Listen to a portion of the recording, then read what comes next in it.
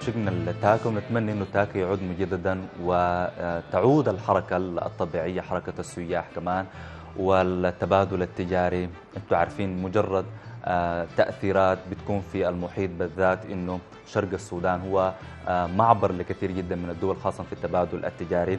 وشرقنا الحبيب بذات الحب اللي تغنوا له كثير جدا من الشعراء. تحيل الإرث الجمعت ما بين الحلنجي وأستاذنا التاج مكي آه، عبر صباح الشروق الآن. ودائما نتمنى إنه نفس التعايش السلمي اللي كان في وعاء القيادة العامة اللي جمع كل أهل السودان في محيط واحد إنه آه، يعني ينتشر في كل بقاع وطننا الحبيب. يعني المشاكل دائما والخلافات بتحل يعني بالهداوة وبالسلام يعني ما بأخذ الشيء باليد يعني وإنما أيضا بالقانون. إحنا سعداء انه ينضم إلينا دكتور سامي محمود الخير عضو مبادرون من أجل التعايش السلمي بكسل الحديث أكثر. أهلا وسهلا صباح الخير. صباح النور أستاذ حمزة وشكرا على الاستضافة. الله يكرمك. جميل إنه شفنا كم مبادرة يعني بالنسبة لشرقنا الحبيب حتى إنه آه، يعود الشمل مجددا يعني ويعود التعايش يعني. لكن هذه المبادرة تحمل كثير جدا من التفاصيل والأفكار وممكن حتى من المساعدات اللي بتصل لأهلنا بردا وسلام نتكلم عن مبادرون من أجل التعايش السلمي. هل كانت بمجرد اندلاع المشكلة ولا أصلا كانت تخطيط لها من بدري؟ هي حقيقة كسلة كانت على مدى التاريخ. بلد بتاع التمازج آه، قبلي من إثنيات مختلفة. صحيح.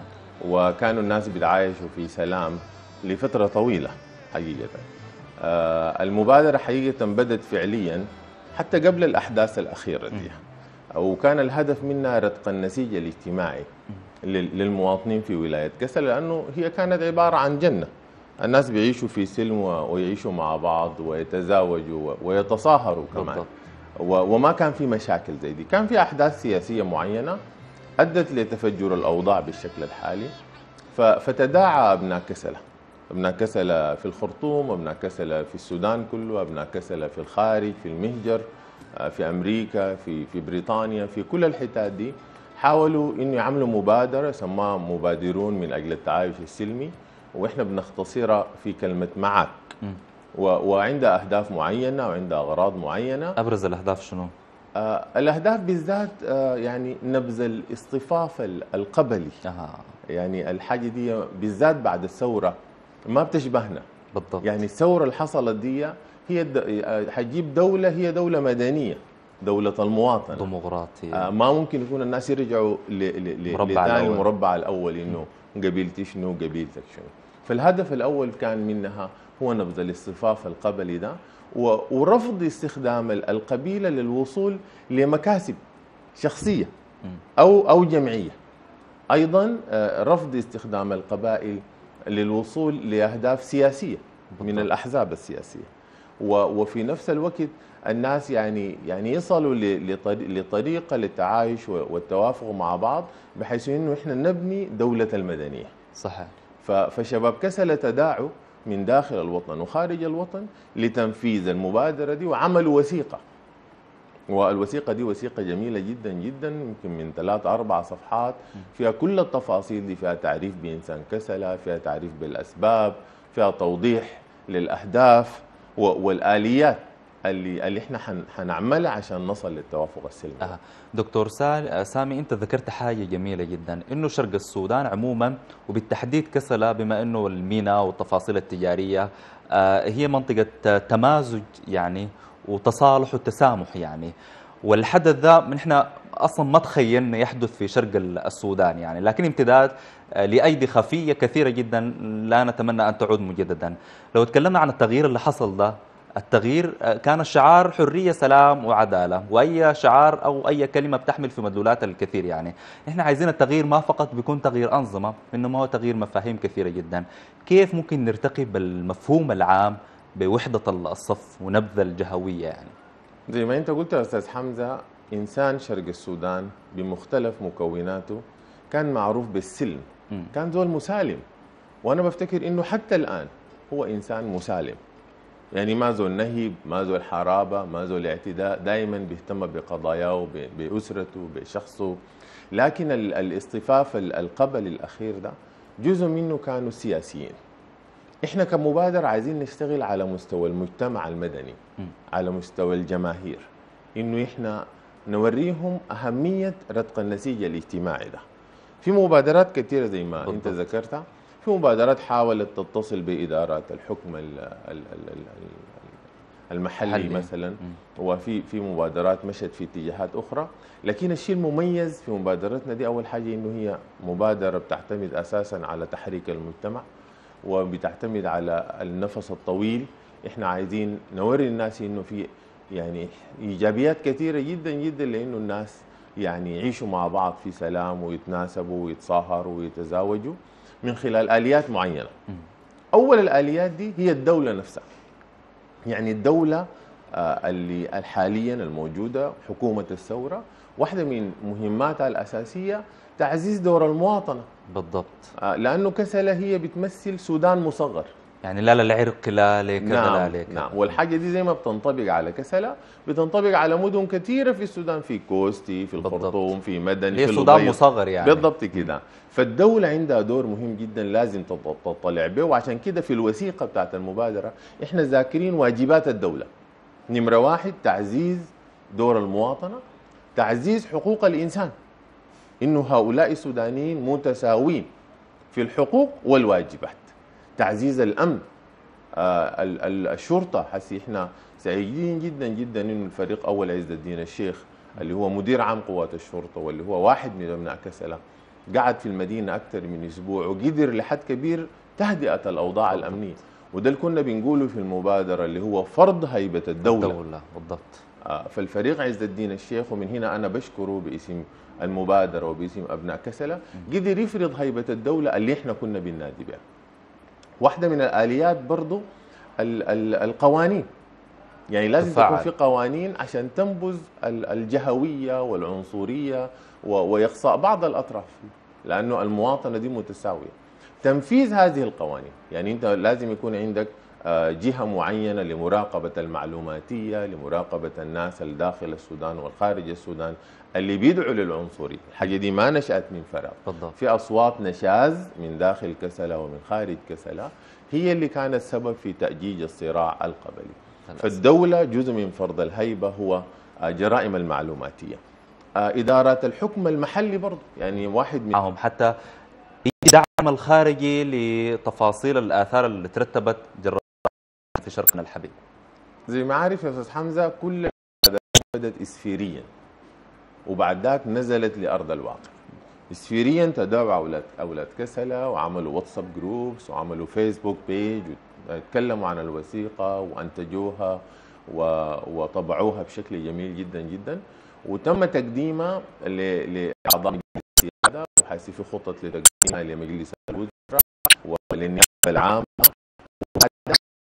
على أرض الواقع في أبناء كسله شغالين تم تدشين المبادرة دي في مدينة كسله في وجود عمدة كسله وفي وجود الفريق أول عز الدين الشيخ اللي هو تبنى المبادرة. أه. أنا أقصد دكتور سامي برضه بعد كلامك الطيب ده إنه المبادرة دي ما عايزينها تقف فقط عند الحاصل في كسل الآن نعم. إنه مبادرون بما إنه جمعت كل أبناء كسل بالداخل والخارج إنه تمضي نحو البناء والتعمير وهو جزء من أساس. الشعار الكبير نعم. حنبنيه كيف ممكن أبناء كسل يساعدوا في نهضة المنطقة يعني ونحن بنتكلم عن التمازج ده يعني حتى أبناء كسلة سواء كان آه، يعني مختلف الجنسيات والسحنات يعني نعم هو التشبيك شيء مهم جدا جدا إحنا مشبكين مع كمية من منظمات المجتمع المدني. ما قل من ستة من المنظمات دي آه، بنعمل في شغل توعوي مجتمعي بنعمل في جداريات بنعمل في فيديو كليبس عن التماسك آه، بندعو برضه أو بننظم في حاجات توعوية باللهجات المحلية. لأنه عندنا مواطن في شرق السودان لا يتقن العربية. بالضبط.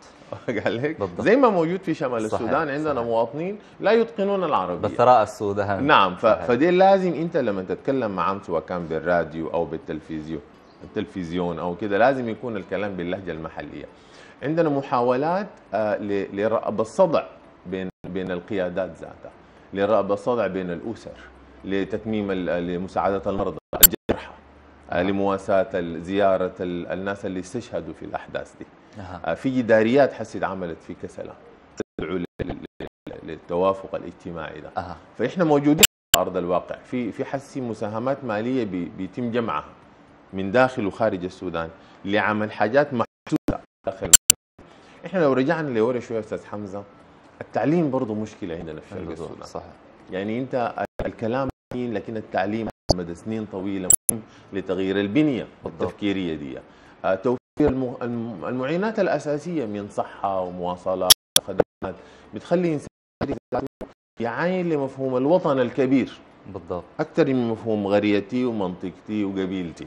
نعم فإن شاء الله الأمور تمشي كويس وإحنا متفائلين ونفسنا طويل زي ما قلت. إن شاء الله إن لأنه أهل الحار يعني والوجعة. نعم. آه لو تكلمنا برضه في جانب آخر نحن بنعيش الآن الظروف. سبحان الله يعني من الحكومة الانتقالية دي مسكت مقاليد السلطة كل الأزمات يعني متلاحقة يعني نعم. سواء كان أزمة الكورونا الأزمة الاقتصادية الاقتصاد المنهار الآن أزمة السيول والفيضانات والأزمات اللي بتأتي على شكل خلافات في مجتمعاتنا السودانية. لو تكلمنا المنجز الفعلي الحقيقي نحن تكلمنا عن التنمية العامة. نعم. هل هي بس المبادرة الآن نزلت الوثيقة اللي وجهت للجهات الرسمية ولا في دعم حقيقي وصل على أرض الواقع المتأثرين؟ الدعم لسه ما وصل لأنه إحنا في مرحلة جمع الدعم. نعم. أوكي؟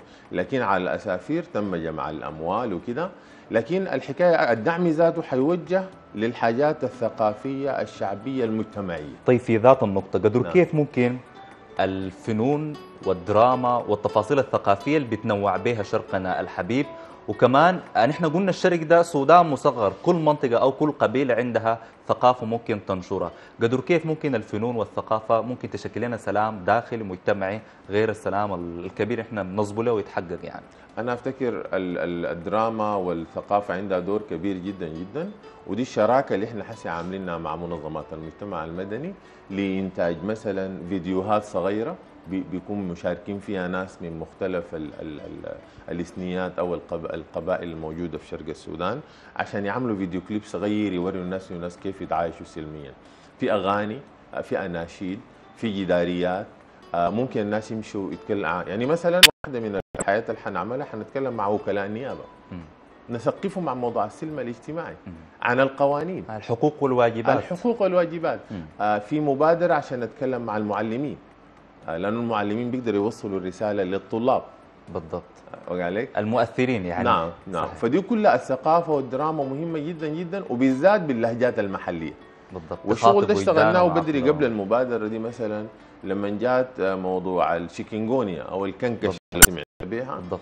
آه، في مبادرة من بعض الأطباء السودانيين ولجان المقاومة في كسلة اتعملت فيديو كليبات ودراما لتنبيه الناس عن. الشيكنجونيا وتوعيتهم باللهجات المحلية وده الجميل إنه تخاطب المواطن بحسب لهجته ثقافته نعم. تخاطب وجدانه وعقله في آن واحد نعم. طيب لو كان في إشارة قبل الختام لتواصلكم مع الجهات الرسمية أنتم ذكرتوا إنه في وثيقة قدمت حتى أنه تجد الرضا والاستحسان ومباشرة التفاعل لو تكلمنا عن مباشرة التواصل المبادرة مع حكومة كسلا والحكومة هنا سواء كان بشقيها السيادة أو الوزراء يعني. بالنسبة للمجلس السيادي آه، مشى وفد بيمثل آه، أعضاء المبادرة وبيمثل أبناء كسلة في عشر أشخاص من مختلف الخلفيات وتم تقديم ال- الم- ال- المذكرة لأعضاء المجلس السيادي وتم تقبلها بشكل رحيب وتبنيها وحسي الاتصالات قائمة عشان يتم برضو تقديم نفس المبادرة لمجلس الوزراء. آه،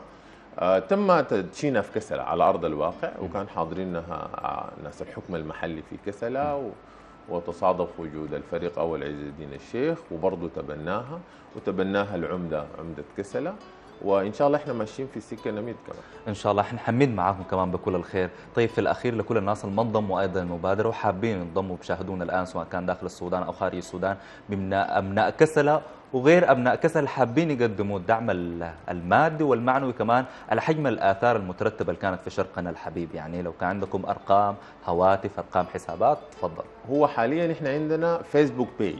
public فيسبوك page يعني صفحة في الفيسبوك عامة. عنده شروط ولا تضغط like لا فقط تضغط like بتخش. بس طبعا من شروطه نبذ العنصرية. يعني أنت لازم توافق في الموقع ده. هي حياة عنصرية واسم ال- الفيسبوك بيج مبادرون من أجل التعايش السلمي بين قوسين سميناها معك. ومرحب بكل السودانيين من كل الوطن للمشاركة في المبادرة. عشان نستضيفك المرة الجاية والمبادرة تسهو وتزدهر كده في فضاء كسلة وتحلق في أكثر من سماع. عبر السلام لكل مناطقنا في السودان. مقدرين جدا دكتور سامي محمد.